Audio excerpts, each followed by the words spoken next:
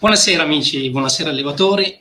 Siamo tornati dopo la pausa delle, delle, feste. Eccoci qua con una nuova puntata. Come vi avevo promesso, un sacco di novità. Infatti avete già potuto vedere la nuova sigla, bellissima. E tra le altre novità avremo un sacco di ospiti nuovi. Come al solito abbiamo il nostro affezionato Tiziano Iemmi. Buonasera. Medico veterinario freelance che collabora con noi per la Pineta e un nostro un nuovo super ospite, Antonio Vilasi. Buonasera. Un allevatore esperto genetista che ha scritto anche un libro, Genetica di base nel canarino di colore, tra l'altro che è stato tradotto in più lingue, in inglese e spagnolo. E so, se ci vuoi raccontare qualcosa de, di te.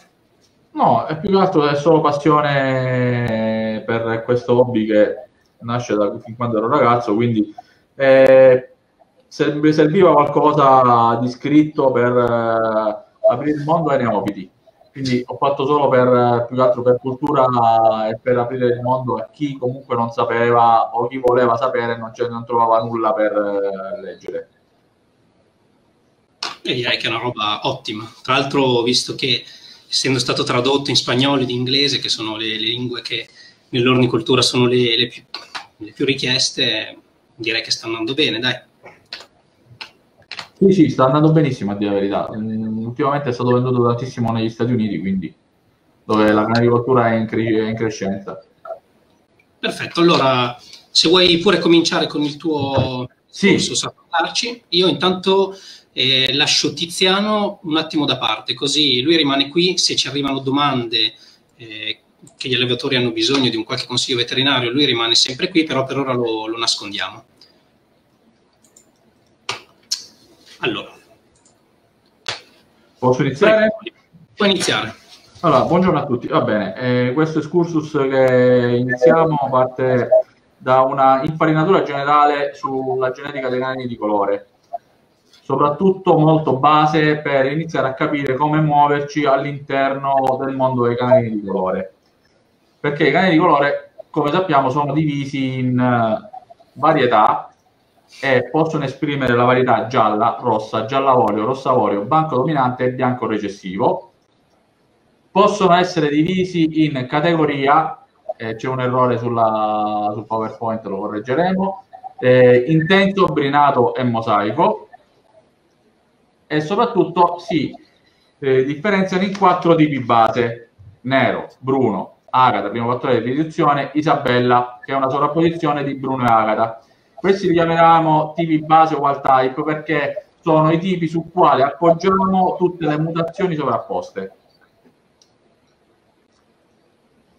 Le mutazioni aggiuntive legate al sesso sono, eh, su varietà e categoria sono l'avorio e il mosaico. L'avorio si ha sia in fattore giallo che in fattore rosso, anche il mosaico si ha sia in fattore giallo che in fattore rosso e si può avere anche in avorio. Le mutazioni aggiuntive invece legate al sesso sul tipo sono nero, bruno, agata, isabella, pastello e satinè.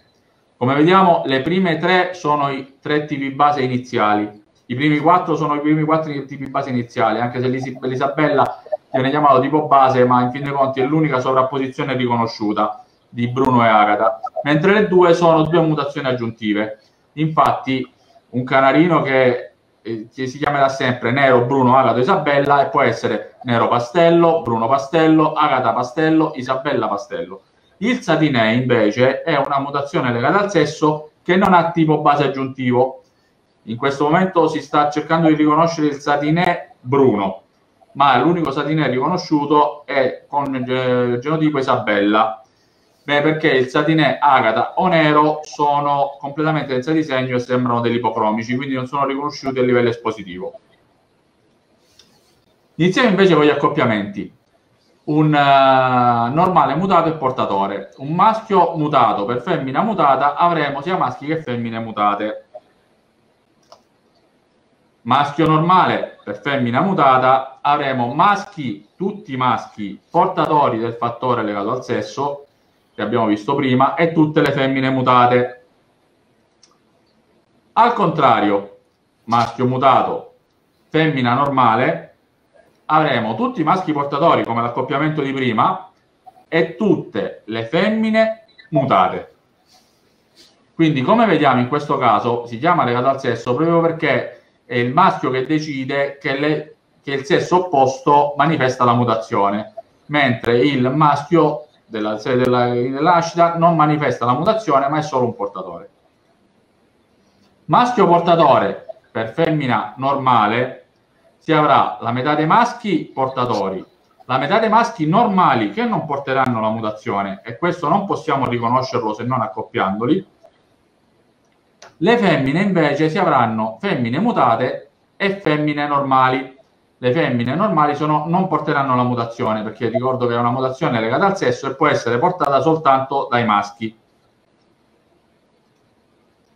Maschio portatore per femmina mutata, che in questo caso la femmina è anche mutata, si avranno maschi portatori e maschi mutati, femmine mutate e femmine normali. Le femmine normali a questo punto saranno non portatrici, come ho detto prima, della mutazione perché essendo una mutazione legata al sesso non può essere portata dalle femmine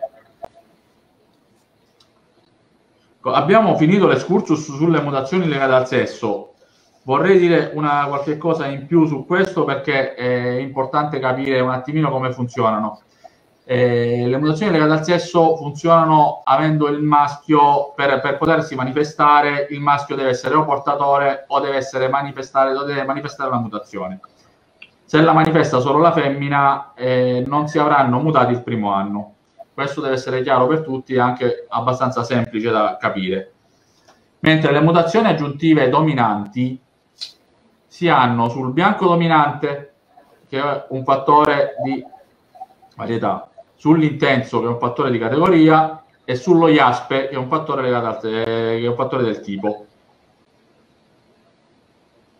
Sì. Quindi su questo ci sono molte controversie sul, sui fattori dominanti perché perché il fattore dominante manifesta la sua totale, eh, la mutazione viene manifestata completamente sul doppio fattore, viene manifestata parzialmente sul singolo fattore. Mi spiegherò meglio con gli accoppiamenti. Normale mutato omozigote. Maschio mutato per femmina normale si avranno maschi mutati e maschi normali che non portano la mutazione. La mutazione dominante non può essere portata o è manifestata o non esiste nel canarino. Femmine normali e femmine mutate. Come vedete qui non c'è differenza tra il sesso dei maschi e il sesso delle femmine, si ha in egual misura la manifestazione della mutazione. Nello stesso tempo si ha in egual misura la non manifestazione della mutazione in quanto si hanno femmine e maschi normali che con la mutazione non hanno nessun niente a che fare e non, si, non manifesteranno mai la mutazione nei prossimi accoppiamenti. maschio normale per femmina mutata, questo l'ho fatto per farvi capire la differenza con sopra, con, le, con gli accoppiamenti legati al sesso, si avranno maschi mutati, femmine normali, femmine mutate e femmine normali. Anche qui si ha lo stesso risultato della coppia di sopra. Nei maschi si ha la manifestazione della mutazione, nel, è, è, la non manifestazione della mutazione. Nel normale non porterà mai questa mutazione né potrà manifestarla mai nei successivi accoppiamenti. Stessa cosa per le femmine.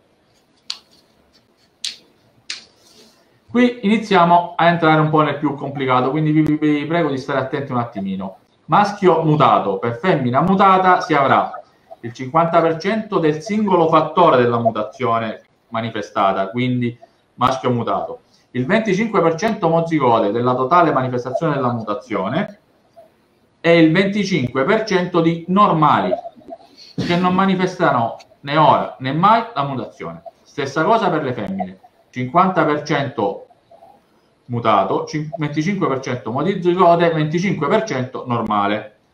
Rendiamoci conto di una cosa, l'omozigote fino a pochi tempi, tempo fa, soprattutto nel bianco dominante, veniva detto che non esisteva è stato visto, rendiamoci conto anche che la genetica dei canarini è una genetica empirica, molto spesso non è provata da prove scientifiche ma da prove di accoppiamenti.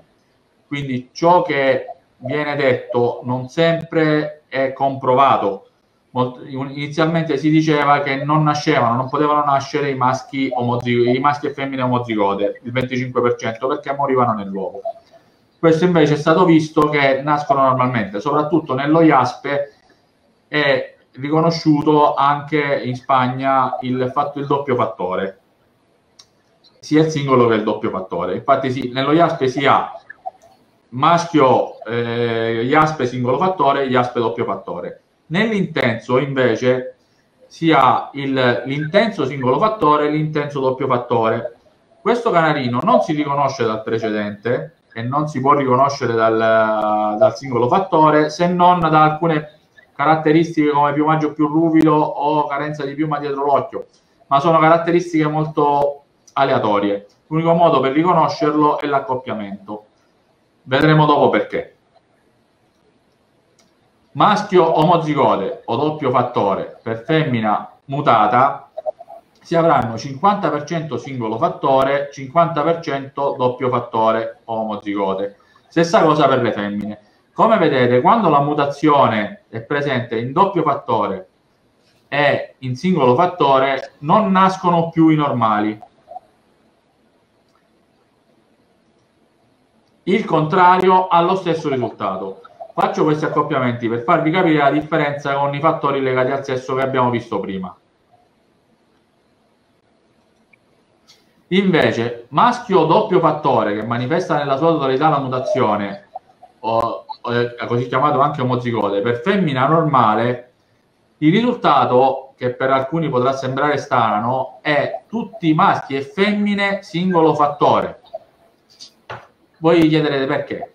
Perché la mutazione in plurale non si manifesta completamente perché si mette il normale come femmina o maschio che sia. La stessa cosa, il contrario darà lo stesso risultato. Se qui avessimo delle femmine omozigoti e dei maschi normali, maschi e femmine avremmo completamente singolo fattore. Allora, passiamo alle mutazioni recessive che sono quelle più tra virgolette, gettonate in ornitologia perché sono presenti in tantissime mutazioni sia sulla varietà che sulla categoria che soprattutto sul tipo. Sulla varietà e categoria si ha sul bianco, che si chiama bianco, ma si, chiama, si chiamava una volta bianco recessivo proprio per dire che è la caratteristica della mutazione, e sul brinato. Invece le mutazioni aggiuntive recessive sul tipo sono onice, opale, Mogno Mogano, ho scritto Mogno per comodità, Eumo, Cobalto, Feo, Topazio e di nuova acquisizione il Perla. Che cosa significa mutazione recessiva? Mutazione recessiva significa che deve, può essere portata da entrambi i fattori, sia maschi che femmine. Se vi ricordate sopra, anzi ve lo faccio vedere, legati al sesso, l'unico, l'unico canarino che può portare la mutazione legata al sesso è il maschio. Infatti sulla femmina o era normale o era manifestato, mentre qui poteva essere portato solo dai maschi. Torniamo alle nostre mutazioni recessive.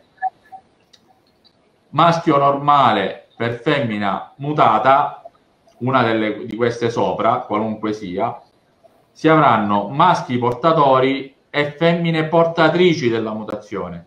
Come vedete non si manifesta in prima generazione ma da solo portatori in prima generazione. Stessa cosa se inverto gli accoppiamenti. Maschio mutato per femmina normale si avranno maschi portatori e femmine portatrici. Anche qui la mutazione non si manifesta in nessun modo iniziamo a vedere invece come si manifesta la mutazione a livello fenotipico maschio portatore per femmina mutata avremo maschi portatori e maschi mutati, femmine portatrici e femmine mutate. Vedete, qui si manifesta sul 50% della prole. Il contrario dà lo stesso risultato. Maschio mutato per femmina portatrice si avranno maschi portatori, femmine mutate eh, maschi mutati, femmine portatrici e femmine mutate. anche qui la manifestazione fenotipica della mutazione si avrà soltanto sul 50%. Iniziamo a complicare le cose. Maschio portatore per femmina portatrice. Cosa succede? Il 50% di questi canarini porteranno il fattore recessivo. Il 25% manifesteranno la mutazione il 25 non manifesteranno la mutazione e non saranno neanche portatrici, ma saranno canarini normali. Voi vi chiederete, bene, io come distinguo il 50% dal 20, che fenotipicamente è un canarino normale dal 25% che è un canarino normale non portatore della mutazione? Non posso distinguerlo se non accoppiandolo. E questo è uno dei problemi di questo accoppiamento la stessa cosa nelle femmine. Il 50% saranno portatori, il 25% saranno canarini mutati che manifestano la mutazione, il 25% saranno normali e sono canarini che sono fenotipicamente uguali al portatore ma non porteranno la mutazione, quindi non potranno mai farla manifestare nella loro propria prole.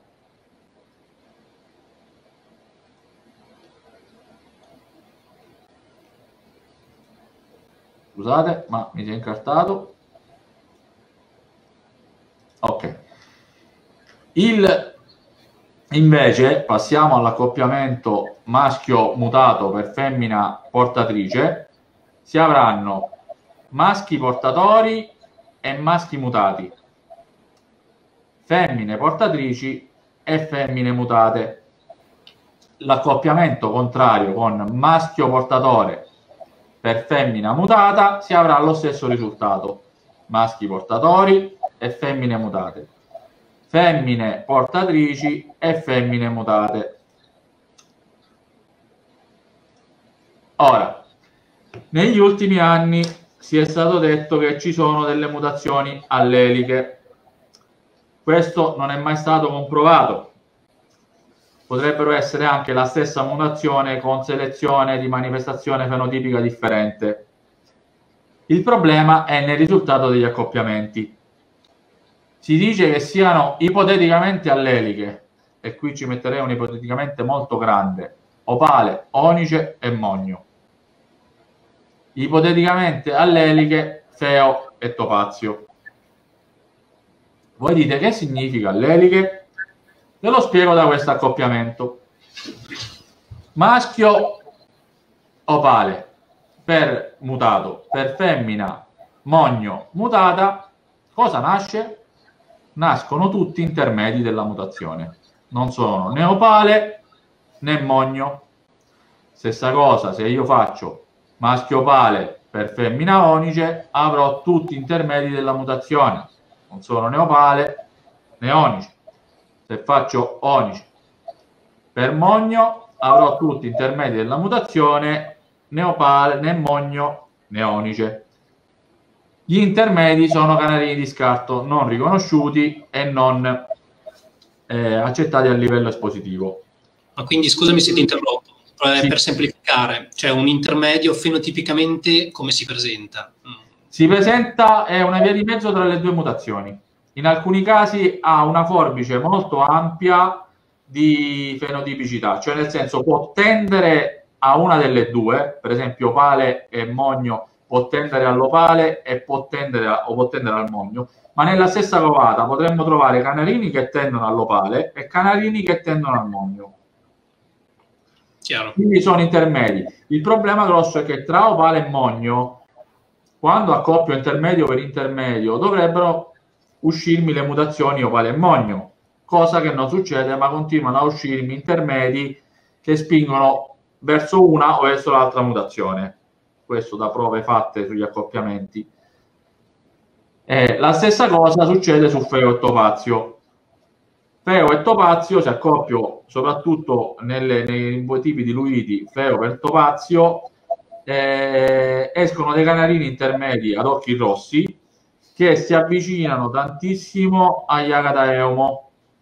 I primi anni, soprattutto quando l'Eumo non era stabilizzato, si faceva il carnaio, cioè nel senso spessissimo ingabbiavano questi canarini come Eumo e vincevano anche.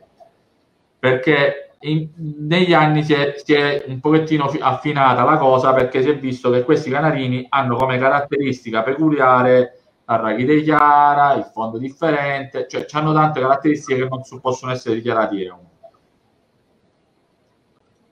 Bene, io avrei un attimino finito e aprirei alle domande se avete anche qualcosa che volete che sia un po' più dettagliata, uh, parlatemi pure eh, o qualcosa su cui fermarmi un pochettino di più.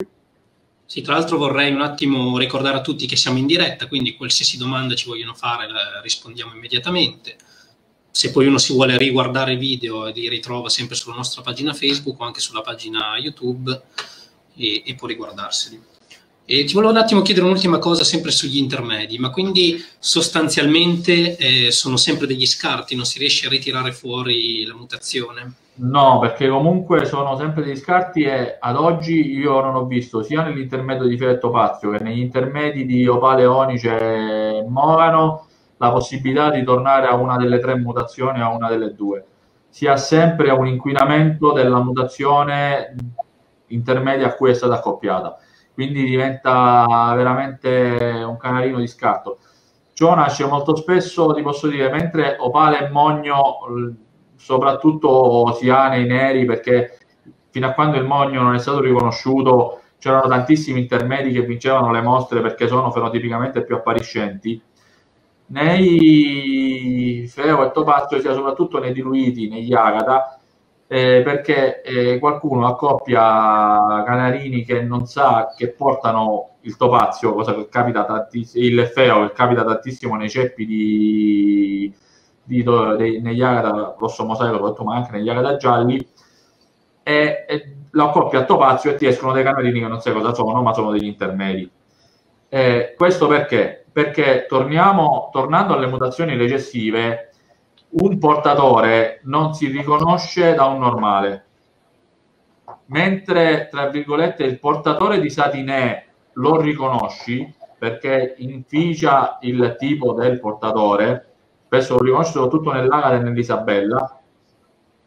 Nelle altre mutazioni, sia quelle eh, legate al sesso come pastello e sia quelle recessive, i portatori non sono distinguibili da un normale, se non accoppiati. Questo Chiaro. ricordiamocelo sempre che chi ti dice che riconosce un portatore di opale o un portatore di pastello da un normale, bene, sì, può essere che, sia, che molto probabilmente ha delle caratteristiche da portatore, ma potrebbe anche non esserlo. Quindi al 100% nessuno ti potrà mai dire senza sapere da dove nasce, quello è un portatore di qualcosa, di una mutazione. Certo. Allora, intanto ti dico ci arrivano tantissimi complimenti, tanti saluti sia a te, a noi, a, a tutta la pagina. Abbiamo adesso ci sono 60 persone che ci stanno seguendo. Ah, ottimo. E via, cominciamo con qualche domanda. Sì, sì. Allora, ci chiedono, eh, quindi si possono sovrapporre mutazioni? Sono riconosciute le sovrapposizioni? Allora, non sono riconosciute, si possono sovrapporre tutte le mutazioni. Eh, soprattutto negli ultimi anni con i IASP stanno sovrapponendo di tutto. Si può sovrapporre anche pastelletto pazio, si possono sovrapporre per le mutazioni legate al sesso con mutazioni recessive, mutazioni dominanti con mutazioni recessive o legate al sesso. Si possono sovrapporre mutazioni recessive tra di loro o mutazioni legate al sesso tra di loro, eh, ma non sono riconosciute L'unica sovrapposizione riconosciuta è il, l'Isabella. Perché? Perché, tra virgolette, è nata tra le primissime mutazioni ed è stata riconosciuta come tipo base. Stiamo parlando degli albori della canaricoltura. Sì. Si sta studiando una mutazione, allora quasi tutte le mutazioni sono a livello, diluiscono la melanina. L'unica mutazione che aumenta la melanina è il cobalto. Allo studio della CTN eh, si, si, sta iniziando a guardare una sovrapposizione che è il Conix, la sovrapposizione di cobalto e onice, che fenotipicamente è bella, il problema è riprodurla, perché o accoppi Conix con Conix oppure ci metti un paio d'anni a farla, più di un paio d'anni. Si parla di 3-4 anni per poter avere una sovrapposizione stabile. Quindi e, e sapendo quali sono gli accoppiamenti mirati per farla, perché se non sai neanche come farla è inutile che ti metti perché stai perdendo tempo. Quindi nessuna sovrapposizione ad oggi, escluso l'Isabella, è riconosciuta a livello espositivo. Perfetto, chiarissimo. Allora, Andrea ci chiede, buonasera, vorrei chiedere se si possono accoppiare due bianchi dominante a prescindere dal sesso e la stessa cosa se posso accoppiare due bianchi albini. Grazie. Allora, si possono accoppiare due bianchi dominanti a prescindere dal sesso tranquillamente e avrai ti condivido di nuovo lo schermo così gli faccio anche vedere il tipo di accoppiamento specifico. Sì. Eh, ok. Allora, tu, tu, tu, dominante, quindi sia dominante per dominante, ha detto dominante per dominante, giusto? Esatto. Ok, eccolo qua. Allora, maschio mutato per femmina mutata o al contrario. Alleliche, no, queste qua sono le alleliche, scusate. E qua sopra, dominante. Ok. Ecco qua, maschio mutato per femmina mutata. Dominante per dominanti, cosa ti uscirà? Il 50% dei dominanti, il, 50, il 25% dei doppi dominanti che non riconoscerai mai dai dominanti semplici e il 25% se i dominanti sono lipocromici molto probabilmente ti usciranno dei gialli molto probabilmente ti usciranno dei gialli brinati perché genotipicamente saranno dei brinati la stessa cosa per le femmine 50% singolo, del singolo fattore cioè dominanti il 25% del doppio fattore e il 25% di gialli allora si credeva una volta che accoppiando dominante per dominante ci fosse il fattore subletale con accoppiamenti è stato visto che il fattore subletale in canaricoltura non esiste. Oltretutto si usava una parola sbagliatissima perché il fattore subletale significa che nasceva ma non era compatibile con la vita o con la riproduzione. E quindi si sarebbe dovuto dire un fattore letale, cioè un fattore letale significa che non nasce. E quindi si è stato visto che negli anni, e si è stato visto che anche tutte le altre fattori, fattori dominanti del canarino hanno il doppio fattore nel bianco dominante, come negli intensi, il doppio fattore non lo riconosci e quindi hai soltanto un canarino che fenotipicamente è uguale a un bianco dominante, ma che se accoppiato, lo puoi riconoscere da un accoppiamento, se, ha, se accoppiato per esempio ad una gialla, in questo caso del bianco dominante, avrai tutti i bianchi dominanti, non ti uscirà neanche un giallo tanti anni fa eh, mi è successo a me con un'agata bianco dominante che ho, le, che ho, accoppiato per 5 anni, con qualunque cosa lo accoppiavo mi dava agata bianchi dominanti. Ok. Tornando invece agli albini, sì. Gli albini possiamo averli due tipi. E qua la cosa si complica. Possiamo averlo albino a fattore feo e albino a fattore satinè. Come abbiamo visto sopra, il fattore feo è recessivo, il fattore satinè è legato al sesso. Quindi se tu accoppi due albini con lo stesso fattore, non hai problemi, puoi accoppiarli tranquillamente e non hai nessun problema. E avrai tutti occhi rossi.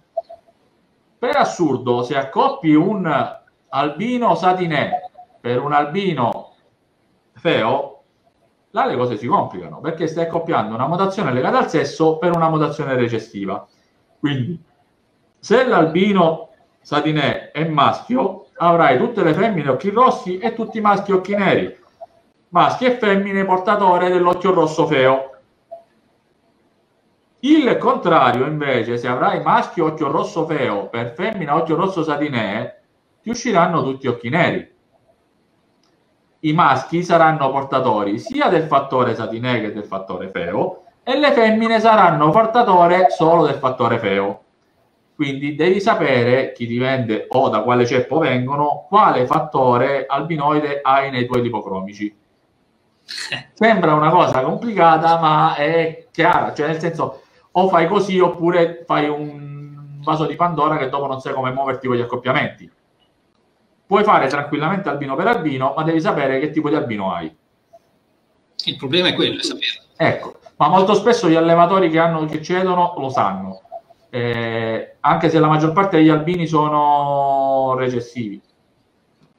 Quindi, cioè, se, se compri da un allevatore, spesso sa che tipo di albino ha dentro. Basta chiedere. Bene, direi abbastanza esaustivo. Allora, Angelo ci chiede, se io accoppio un agata giallo con molta feomelanina, con un agata opale giallo, che ottengo, che ottengo 50% dei soggetti, 50% portatore di opale e l'altro agata giallo? Allora, agata giallo non portatore di opale, e questo perché non, lui non ha scritto portatore, giusto? Ha scritto agata giallo per opale, giusto? Esatto. Allora, tu ottieni tutti agata giallo, se l'agata opale è giallo, definiamo anche questo. Ricordiamoci sempre di mettere tipo varietà e categoria quando definiamo un canarino, perché il canarino è fatto da tipo, varietà e categoria. Chi mi dice ho un opale, io gli posso chiedere opale, bene, agata, nero, bruno, agata, Isabella, eh, intenso, brinato, mosaico, giallo, rosso, rosso avorio, giallo avorio, cosa? Eh, quindi iniziamo a imparare anche a definire il canarino come essere definito quindi agata giallo, penso sia intenso brinato, per opale agata giallo intenso brinato, avrai tutti agata portatori di opale. Tutti, maschi, femmine, 100% portatori di opale. Se dopo a feomelanina pure scarti. Quindi... Eh sì. Bene, allora Leonardo ci chiede, feo maschio per portatore di feo femmina. Feo maschio e portatore di feo femmina, ti ricondivido lo schermo così ti faccio vedere l'accoppiamento specifico. Ok. Feo maschio per portatore accoppiamento fattori recessivi.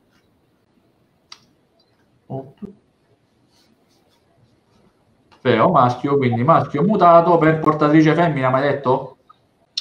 Eh, sì. Ok. Feo maschio, quindi mutato per femmina portatrice eh, Leonardo, guardati questa schermata e salvatela così cosa ti esce. Maschi portatori, femmine e maschi mutati. Se sei d'accordo, potremmo anche condividerle queste slide. Eh, così non c'è nessun problema. Le possiamo mettere pure sulla pagina della pineta. Eh, femmine mutate e femmine portatrici. Quindi cos'hai? Hai maschi maschi e femmine mutati, maschi e femmine portatrici. Perché? Perché il fattore recessivo non è al sesso si manifesta sia nei maschi che nelle femmine. Se in questo caso hai un uno dei due canarini mutati e uno dei due canarini portatori. Ok. Angelo, per quanto riguarda prima, diceva che il suo agato opale è giallo brinato. Ok, perfetto. L'agato opale è giallo brinato. Con un intenso farai maschi e femmine brinati, ma fai tutti agata, portatori di opale. Perfetto. Allora, Paolo ci chiede, il fattore subletale vale anche per i ciuffati tedeschi, cioè si può accoppiare ciuffato per ciuffato? Allora, ciuffato per ciuffato puoi accoppiare, ma non è subletale perché io l'ho fatto anche nei cluster. Eh, ti escono però dei ciuffi pessimi, soprattutto negli omozigoti. Cioè, ti esce il 20-50% di ciuffi normali, il 25% di ciuffi pessimi, e quelli sono gli omozigoti, e il 25% di non ciuffati riaccoppiando gli omozigoti avrai 100% di ciuffi normali. E il problema grosso è però ti potrebbero uscire delle cisti di piuma nei ciuffi non buoni, negli holster ti esce, quindi sono canarini abbastanza deboli e nel ciuffo non consiglio farlo. Eh. Mm. Anche perché poi dopo rischiano di morire facilmente. Eh, infatti. Allora, Antosi chiede Tornando all'accoppiamento dominante per dominante, avevo riprodotto un doppio fattore dominante che, scopriremo solo accoppiando l'anno dopo, potrà riprodurre altri doppio fattori dominanti? Altra domanda, accoppiando due dominanti doppio fattore, che succede? Nascono dominanti doppio fattore, come lo IASP. Se sei qualcosa di IASP, che se accoppi un IASP doppio fattore per uno IASP doppio fattore, fai solo IASP doppio fattore. Eh, bianco dominante doppio omozigote o, domi- o, doppio fattore, per bianco dominante doppio fattore fai solo bianco dominante doppio fattore. Se tu accoppi un bianco dominante omozigote per un bianco dominante singolo fattore, fai metà, ti riporto l'accoppiamento, così lo vedi e ti resta anche più impresso. Ok, dominante, eccolo qua. maschio o femmina doppio fattore. Per maschio o femmina singolo fattore hai il 50% dei singoli fattori e il 50% dei doppi fattori. uguale, stesso risultato sia per maschi che per femmine.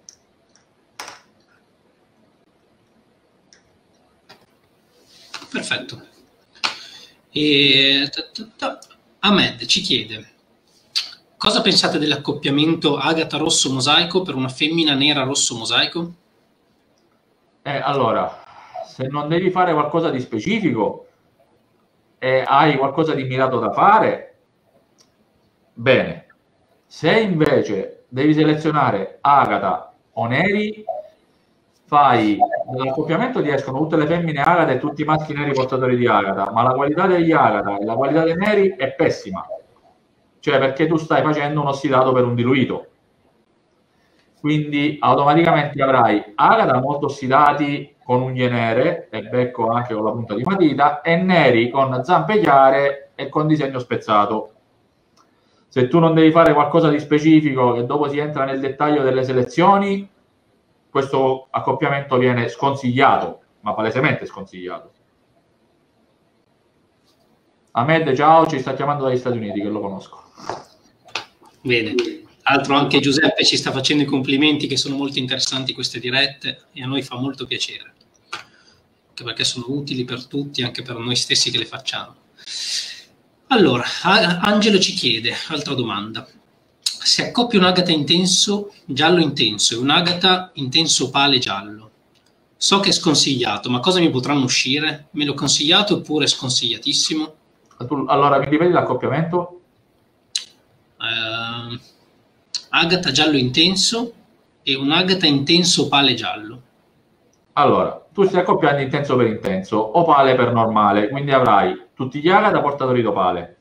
Intenso per intenso non è sconsigliato se dipende sempre dal tipo di canalino che accoppi, perché se accoppi due canalini a piuma lunga potrebbe essere anche consigliato, o se accoppi qualche canalino intenso che ha qualche brinatura e non manifesta nel totale, nella sua totalità la, la mutazione intenso.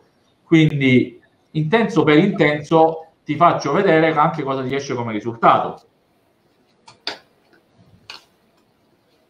Allora, torniamo agli accoppiamenti. Intenso è un fattore dominante, eccolo qua, quindi tu stai accoppiando intenso per intenso, quindi mutato per mutato, maschio mutato, femmina mutata. Immagina che qui ci sia agata opale giallo intenso e agata giallo intenso. Avrai tutti agata portatori d'opale intensi, doppio fattore intensi e brinati.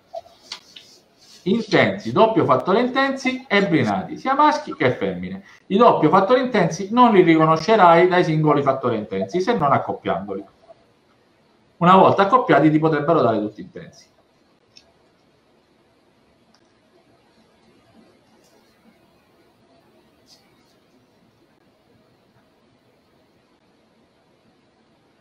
Mi hai condiviso doppio schermo? Sì. Ok.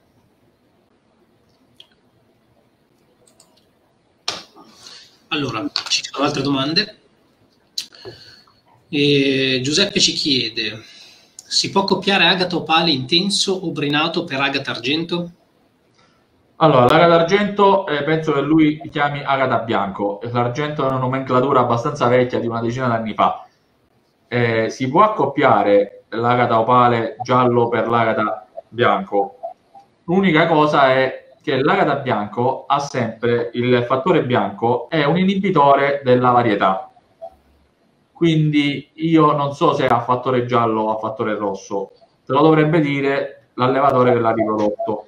E non so neanche se mi stai dicendo se è recessivo o dominante, perché i risultati sono differenti anche in questo caso. Perché l'agata bianco può essere geneticamente giallo-rosso, geneticamente dominante o recessivo. Quindi si può accoppiare tranquillamente, ma dipende la, la rata bianco cosa è, perché come abbiamo visto i fattori recessivi si comportano in un modo, i fattori dominanti si comportano in un altro. Se dopo tu stai accoppiando un giallo per rosso, fai un attimino di canalini arancioni che non so a cosa ti potrebbero servire se non hai mire di altro tipo eh sì. Quindi se tu inizi, se tu sai, come si chiamava, scusa, Giuseppe?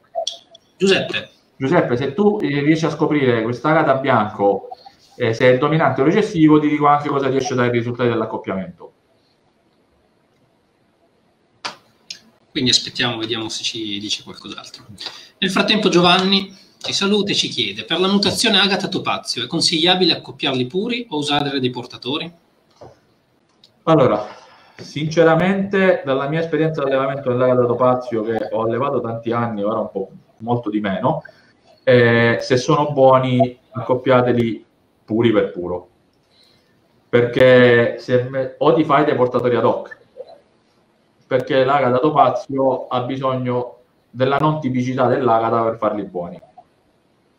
Questo ve lo dico proprio palesemente, eh, lo so che qualcuno storcerà il naso, ma per fare agata topazio buoni servono dei portatori specifici per fare agata topazio con melanina nera molto spinta, con unghie scure, con disegno molto nero, un disegno molto evidente e allargato ovunque, petto, codione, eh, perché per fare quindi se vuoi usare degli agata normali per fare agata topazio è sconsigliato vivamente. Coppia agata topazio per agata topazio e spingi sulla, sul contrasto in maniera totale e sulla massima rifrazione della melanina spinta alla sua massima gradazione allora c'è Giovanni che ci dice anche se allevo tutt'altro, è sempre interessante ascoltarvi. Infatti, Giovanni, se dici che cosa allevi, che ci interessa anche a noi, e magari se riusciamo anche a fare qualche altra puntata per altri, ovviamente, per chi interessano anche altre cose. Tra l'altro, vi anticipo già eh, che nella prossima puntata si parlerà di pappagalli, quindi non, non ci saranno solo canarini, approfondiremo un po' la, la, l'alimentazione dei pappagalli. Ora andiamo avanti un attimo con le domande. Giuseppe ci chiede, per fare dei buoni satinè è consigliabile fare i portatori con Isabella? Eh, dipende sempre da che satinè stai partendo e da che Isabella hai. Molta gente li fa, ma molta gente eh, con Isabella. Soprattutto nel fattore giallo l'Isabella viene usato tantissimo per fare satinè. Mentre nel fattore rosso mosaico quasi nessuno utilizza l'Isabella per fare satinè, ma si accoppia satinè per satinè eh, dipende sempre da cosa parti e cosa ti serve nel tuo ceppo di satinè. Non, non esi- allora, eh, chiariamo questa cosa, non esistono regole fisse negli accoppiamenti, esistono risultati degli accoppiamenti. Nella selezione non esistono regole fisse. Nella selezione bisogna capire che canalino hai davanti e quali sono le cose che vuoi aggiustare, sistemare o amplificare o ridurre. E in base a questo utilizzi dei canalini partner che ti danno quelle caratteristiche. Perché la panacea dell'Isabella per Satinè non esiste, cioè nel senso che puoi mettere un'Isabella che ti distrugge il ceppo di Satinè se è un'Isabella che non fa bene per i Satinè. Come puoi fare Satinè per Satinè e continuare a fare canalini scarsi. Come puoi fare Satinè per fare Satinè e fare canalini ottimi o mettere un'Isabella che ti migliora il ceppo di Satinè.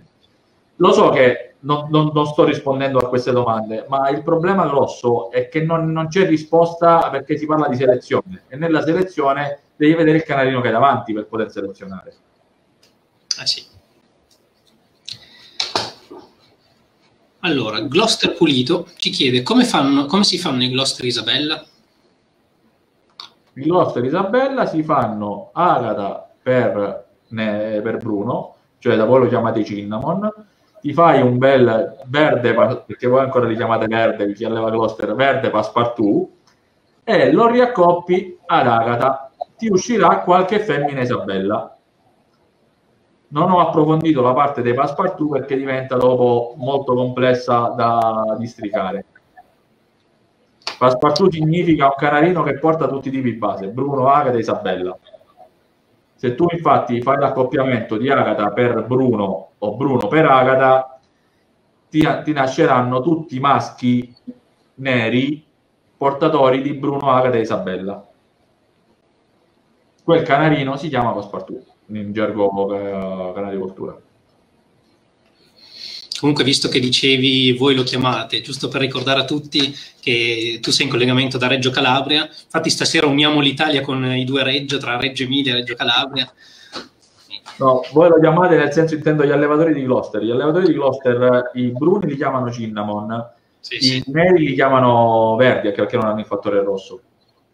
Quindi se gli dico Bruno potrebbe, eh, non tutti gli allevatori di roster capiscono qual è. Angelo ci fa un'altra domanda. Se accoppio un agata bianco brinato con un agata giallo intenso opale, cosa mi esce? Posso avere degli agata opale gialli brinati? L'agata bianco brinato? Bianco brinato. Eh, allora, l'agata bianco non ha categoria, quindi no, non posso sapere se è intenso brinato, molto probabilmente è un brinato.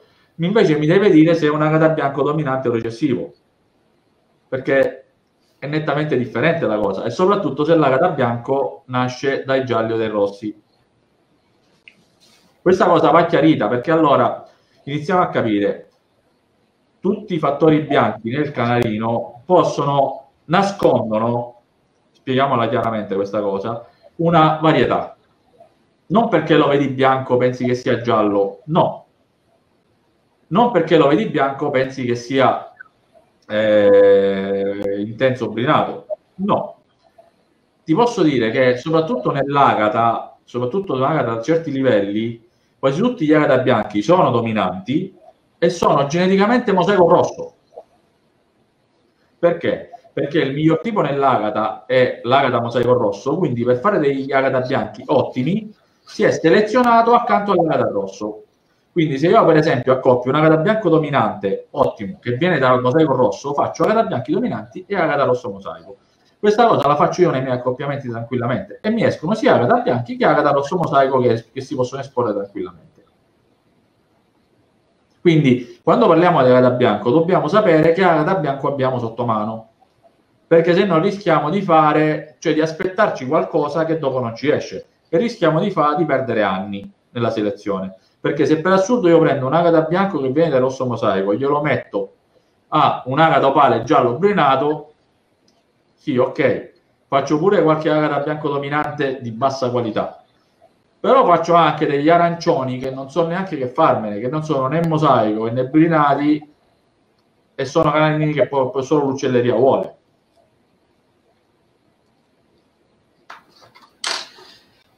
Anto ci chiede, per migliorare e quindi accentuare la barratura alare nel giaspe, cosa consigli? Allora, per accentuare la barratura alare nel giaspe è ridurre gli accoppiamenti di aspe per gli aspe, perché se accoppi gli aspe per gli aspe sempre, la barratura alare aumenta. Non è sempre così, perché la barratura alare è quantitativa. Quindi le, per aumentare la barratura alare devi accoppiare canalini con barratura alare. Occhio che la barratura alare finisce nella coda e so diventano canalini brutti da guardare anche eh, in esposizione penalizzati anche gravemente. Quindi per la barratura alare va selezionata a livello quantitativo se io accoppio due canarini con tanta barratura alare, avrò canarini con sempre più barratura alare. Quindi è meglio preferire accoppiare canarini con barratura alare con canarini che hanno meno barratura alare per compensare. Chiarissimo. Intanto Angelo, rispetto alla domanda di prima, ci aggiorna che l'agato bianco pale è recessivo ed è uscito da un accoppiamento di agata giallo per agata giallo pale. Perfetto, ok, così è perfetto. Allora, agata bianco opale recessivo per agata opale giallo brinato, mi ha detto, giusto? Risalimi alla domanda perché non le vedo. Eh, sì, adesso ricerco un attimo la domanda, era agata bianco brinato con agata giallo intenso opale. Perfetto, se l'agata giallo intenso opale non porta bianco recessivo, ti usciranno agata opale intensi e brinati molto probabilmente, tutti portatori di bianco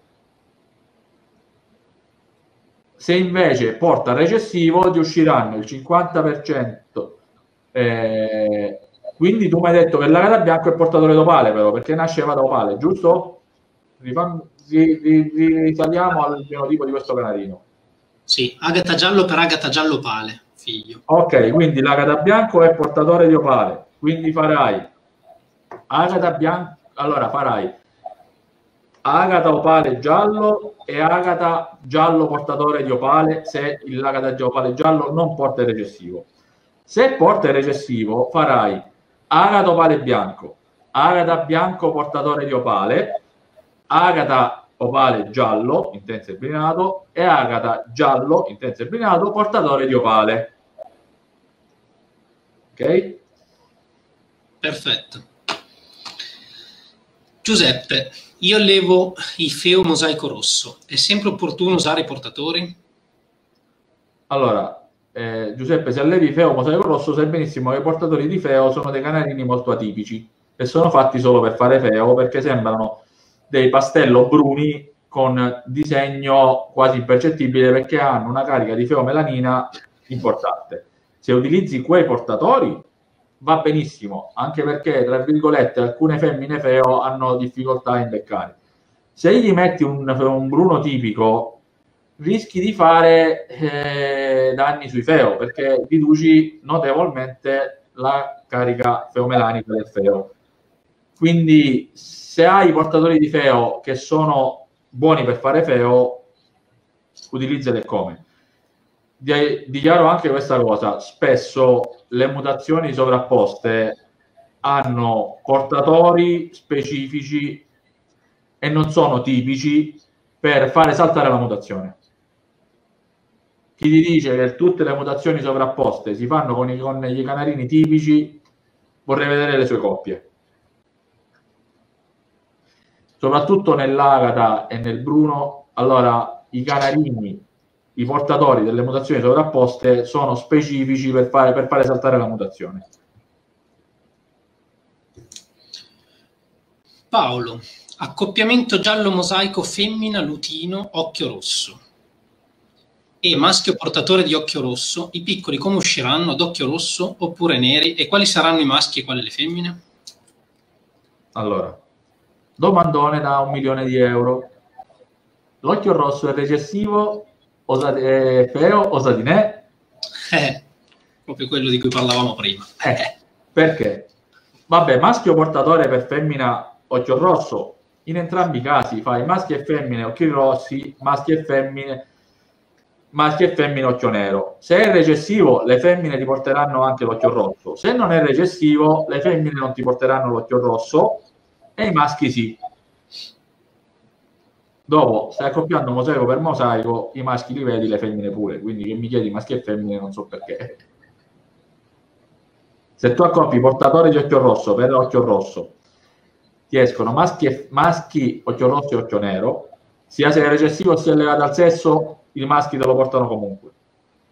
Femmine, occhio rosso, femmine, occhio nero, se è legato al sesso, le femmine non te lo portano. Se è recessivo, le femmine te lo portano. Spero di essere stato chiaro. Chiarissimo. Ok. Gianluca, buonasera. Per ottenere dei buoni rossi avorio, può essere necessario inserire un portatore o si può andare avanti in purezza? E dipende sempre che rosso avorio hai. Eh, allora, il rosso portatore d'avorio molti lo usano eh, però dipende sempre, ho visto coppie di Rossavorio fantastiche che camminavano Rossavorio per Rossavorio. Dipende sempre se cerchi qualche caratteristica da migliorare nel tuo Rossavorio che non trovi nel Rossavorio, lo trovi nei Rossi e quindi gli porti quella caratteristica specifica nei tuoi Rossavorio perché ti serve e usi un portatore rosso.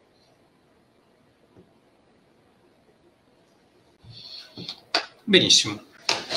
Allora, vedo che per ora non ci sono nuove domande. E vuoi aggiungere qualcosa? No, più che altro eh, io vorrei aggiungere che eh, si dovrebbe iniziare a capire che quando parliamo di canarini di colore dobbiamo capire che i canarini di colore sono composti, e questo lo ripeto perché è un errore che si fa spessissimo, da tipo, varietà e categoria. Quando dichiariamo un canarino di colore lo dobbiamo dichiarare con tipo, varietà e categoria perché? Perché spessissimo anche su Facebook oppure si pubblicano canarini o si chiede di canarini dicendo opale, dicendo ho uno iaspe, ho capito. Bene, bello, ok.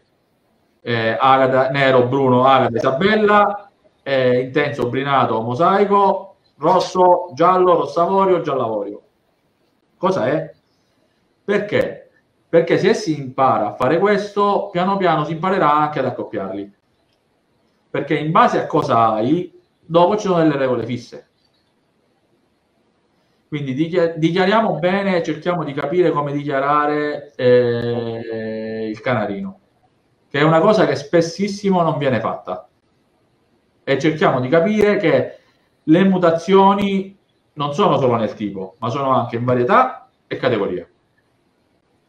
Quindi il comportamento genetico non è solo nel tipo, ma è anche in varietà e categoria. Quindi il risultato si avrà anche per varietà e categoria. Nel frattempo sono arrivate tante domande. Yuppie. Un'altra di Angelo. Quest'anno vorrei fare un'ibridazione con un cardellino. L'accoppiamento sarà femmina agata bianco recessivo intenso con un cardellino nostrano. Come mi uscirà la prole?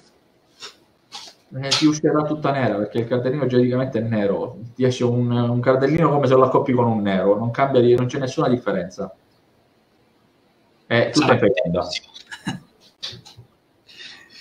Buonasera Antonio, ci chiede Luigi. Gli Agata di Banares, secondo te, da dove vengono fuori? Domandone da un milione di euro. E siamo a due domandone. Eh, no, questa è una domandona molto più specifica. Eh, gli Agata di Benares, secondo me, vengono fuori da una, una selezione del nero. Non c'è Lizard lì, ma è una selezione fatta molto bene molto molto bene perché se tu vedi gli Agata di Banares hanno coglione e spalline disegnati cosa che molti molti molti molti Agata non hanno questa è la mia opinione. Dopo io non lo so non ho parlato con Banares è una mia opinione personale. Eh, però se tu vedi i maschi di Banares hanno il petto che è fantastico cosa che fino a qualche anno fa era difficilissimo da trovare. E soprattutto hanno una selezione di chiccheggiatura non indifferente. Thomas, tu non sai di cosa stiamo parlando, però va bene. diciamo che qui si, ci, ci addentriamo i, i discorsi complicati. Allora, Cesare, collegandomi alla domanda di Giuseppe sui FEO e i relativi portatori, vista la differenza di pensiero, cosa ne pensi dei nero FEO? Possono provocare la melanina centrale? Sì, no, i nero FEO provocano la melanina centrale, ma soprattutto i nerofeo difficilmente hanno la stessa tonalità nocciola del fondo di un feo bruno. Quindi eh, a livello selettivo è complicato che un nero feo possa battere un bruno feo, cioè rendiamoci conto anche di questo. Eh, perché caricare la stessa feomelanina su un nero dopo diventa complicata. Quindi sì, si possono fare, fenotipicamente sono uguali, bruno e nero fenotipicamente sono uguali, il nero è vero che, ha, che tende a fare melanine centrali. Felice, buonasera, non sono un allevatore ma un semplice amante di animali, posseggo già un pampagallo del Senegal di 11 anni. Mi piacerebbe prendere una coppia di canarini da tenere in veranda. Quale potrebbe essere un inizio non molto complicato per un neofita? So che probabilmente è una domanda troppo generica, grazie. Canarini, eh, secondo me la cosa migliore è iniziare con dei canarini o dei neri o dei pezzati. Perché? Perché così ti appassioni e li vedi riprodurre. Se inizi con tipi selezionati, la probabilità che tu non riesca a riprodurli è alta, non avendo esperienza. E poi ti deprimi. E ti deprimi e non allevi più. Tutti abbiamo iniziato con dei pezzati nella gabbietta siamo riusciti a riprodurli e dopo siamo passati a un livello superiore. Dopo ti appassioni, dopo, ti, dopo vai a vedere tutti i colori, vai a scoprire la genetica, vieni a vedere i nostri video. Allora, eh, Dennis ci chiede, Luigi, secondo me gli Agatha che dici te li dà con i Lizard. Sempre riferito alla... Parare, sì. Eh. Sì, c'è anche questa ipotesi, ma non mi sbilancio su questo perché non, non saprei che dirti. Lui dichiara che no e quindi non, non ci addentriamo, via. Andrebbe chiesto a banale. Allora, Giuseppe ci chiede cosa ne pensiamo dell'acqua ossigenata. Questa domanda magari potremmo richiamare un attimo. Per me è un disinfettante, possiamo chiamare... Prendiamo un attimo di Contato che nella scorsa puntata ne abbiamo parlato abbondantemente dell'acqua ossigenata, però Tiziano ci puoi dire due parole? Sì, allora l'acqua ossigenata è, è, giustamente come dite voi, è un disinfettante eh, per la precisione perossido di idrogeno, quindi è una soluzione di perossido di idrogeno è un ossidante, quindi ad alte concentrazioni tossico e fortemente caustico, a basse concentrazioni viene ampiamente utilizzata anche in zootecnia nella, nella gestione ad esempio delle colibacillosi in avicoltura.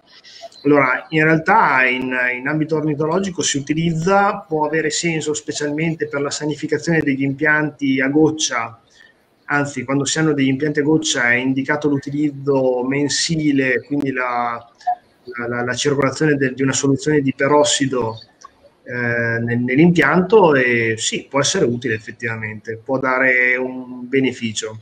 Ora, che sia terapeutica, mm, se c'è proprio un, una, una, forma infettiva, anche perché poi la questione è quella che l'acqua ossigenata ha un'azione locale nel tratto intestinale e poi anche lì ci sono dei, dei meccanismi eh, di difesa dell'organismo per bloccare l'azione delle, delle, sostanze ossidanti. Quindi quando viene ingerita ha un'azione limitata a esofago, stomaco e probabilmente i primi tratti del duodeno, oltre non, non riesce ad avere un'efficacia. Quindi potrebbe effettivamente avere un, un, un certo potrebbe dare un certo beneficio nel trattamento di, di, di, patologie nei primi tratti digerenti, oltre no. Di sicuro non ha nessuna azione nel, nel trattamento di patologie sistemiche. Eh, viene utilizzata per la megabatteriosi, effettivamente per la megabatteriosi si localizza nello stomaco, il megabatterio è un microaerofilo che ha ad alte concentrazioni di ossidanti, quindi ad esempio di ossigeno o di acqua ossigenata, patisce, quindi sì sì, può essere utile. Magari in associazione a delle terapie antimicotiche specifiche può essere utile. E Paolo ci chiede, ti tengo Tiziano che anche questa è una domanda che sì, rispondi te. Inizierò le cove a marzo e vorrei spostare i miei canarini in un nuovo alloggio. Entro quanto posso spostarli senza condizionarli? Io non li sposterei, cioè adesso siamo un po' troppo avanti per spostarli, rischi grosso, se li sposti adesso si, cioè, rischi di avere un forte stress e la prima covata ti parte, secondo me, poi io sì. eviterei io eviterei di spostarli, se no uno se è proprio costretto li sposta, però sa che magari eh, c'è un alto rischio di avere un, una forte infertilità in prima covata e vari problemi. Via. Mm, considera di poter perdere la prima covata abbondantemente. Allora ti faccio l'ultima domanda che poi abbiamo superato diciamo, la nostra ora, poi le prossime domande perché ne stanno continuando ad arrivare, però non ci allunghiamo troppo, le, risponderemo poi non più in diretta, ma risponderemo commentando. Allora, Luigi ci chiede cosa ne pensate della cariasi respiratoria. Ho letto molti articoli che la reputano una malattia molto rara, soprattutto visto che stiamo anche uscendo un po' dal tema della genetica. Diciamo, diamo quest'ultima domanda. Ma allora, la cariasi respiratoria è molto frequente nei diamanti di Gould e in alcuni esotici come i granatini.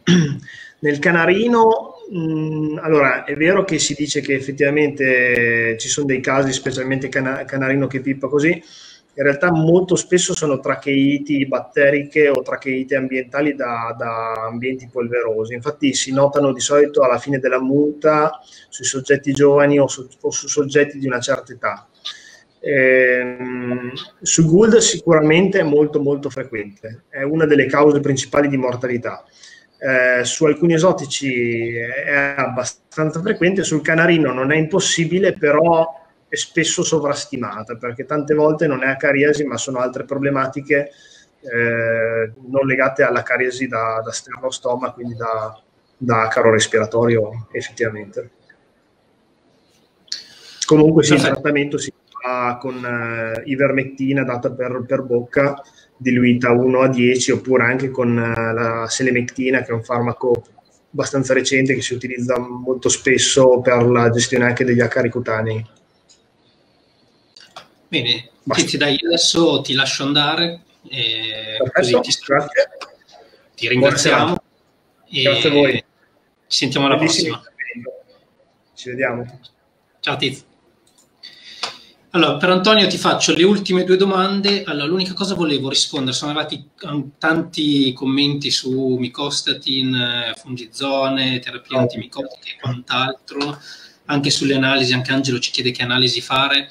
E qua vi dico, se guardate i video che abbiamo fatto in precedenza, e ne parliamo. Parliamo proprio di tutte queste cose che ci avete chiesto, quindi riguardateveli, abbiate pazienza, dureranno un'oretta l'uno, però sono molto interessanti e vi spiegano bene tutto quello che state chiedendo. Infatti c'è Francesco, Giuseppe, Paolo che ci stanno chiedendo sostanzialmente tutte queste cose che abbiamo già parlato.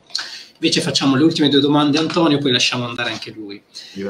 E abbiamo Giovanni che ci chiede, da neofita, come, inter- come ingrandire la taglia tipo di un canarino giallo mosaico? Eh, come ingrandire la taglia con la selezione e con canarini con la taglia più grande. Eh, allora, il problema è sempre là e devi capire il materiale che hai e cosa vuoi. E se nel materiale che hai quella caratteristica non ce l'hai, devi andartela a trovare fuori. Eh sì, e poi da millenni si fa così, si prende eh, quello più grosso. E... Bacchette magiche non ce ne sono. Eh no. Andrea, secondo Antonio, i LUMS possono essere ereditari e quindi trasmissibili alla prole? Sì. I LUMS sono ereditari e trasmissibili alla prole.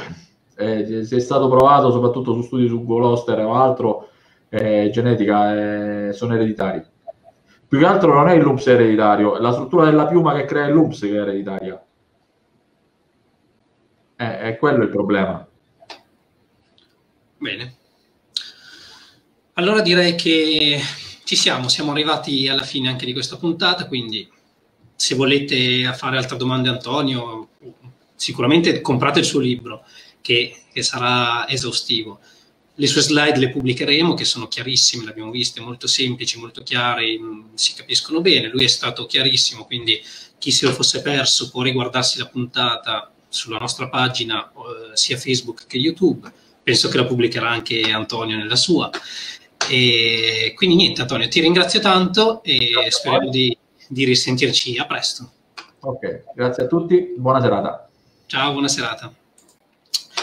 E allora, signori, vi, vi, saluto, vi ringrazio per essere stati connessi con noi per questa ora e dieci, siete stati in tanti aspetto tanti commenti, continuate pure a commentare, anche se non siamo più in diretta, cercheremo di rispondervi e fatemi sapere cosa ne pensate sia della rubrica, della nuova sigla e anche de, del nuovo cartello da questa parte.